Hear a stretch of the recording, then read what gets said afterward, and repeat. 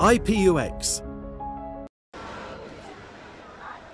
Hello world, Naren Witt, CEO of IPUX, and now I'm at the booth of the um, GISTDA, right? Yeah, GISTDA. Okay, and they are mainly work with the geographic, okay, of the specific land in order to uh, produce the information from the survey and to apply it uh, for the good of you know anything. And in this case, because today we are in the rice and farmers, so it's the application for this kind of technologies for the rice production. Okay, so เอ่อตรงนี้อุปกรณ์ที่อยู่ข้างๆนี่คือใช้ทำอะไรฮะ หน้าตาเหมือนโดรนอ่าอ่าเอาไว้ทำอะไรบ้างครับตัวนี้ ตัวโดรนตัวนี้จะเป็นสำหรับการถ่ายภาพโอเค ซึ่งก็จะมีกล้อง ซึ่งกล้องเรานอกนอกจากจะมีกล้องที่เป็น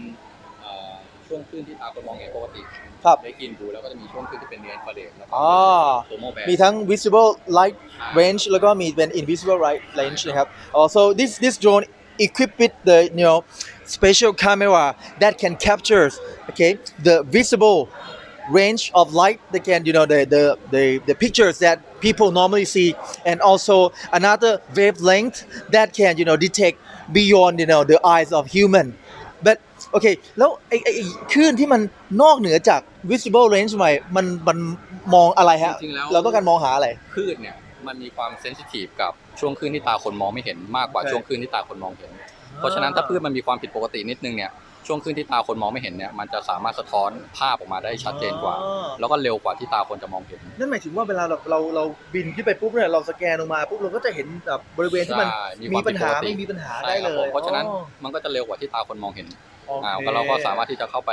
แก้ไขได้ได้เร็วกว่าครับ Okay, so what he explained now is the, the applications of how to uh, use this type of technology to detect the problematic area of the crop field. Okay, so they will fly this over the crop field, right, and you know use their special cameras with the uh, beyond you know the the normal visible range of human to detect because the rice especially the the rice is more sensitive to those light frequency okay so with these technologies they can spot very easily obviously much better than the human eye okay so we use these uh, technology eyes to detect the problematic spot maybe they have you know um, too low um, humidities or you know fertilizations in specific area so they can spot that and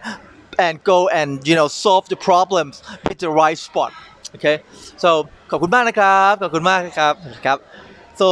this is the you know one of the applications okay that will support the smart farming and if you may know that smart farming is one of our core in the seven core businesses of the IPUX okay so transforming tomorrow today with us IPUX IPUX. Transforming tomorrow, today.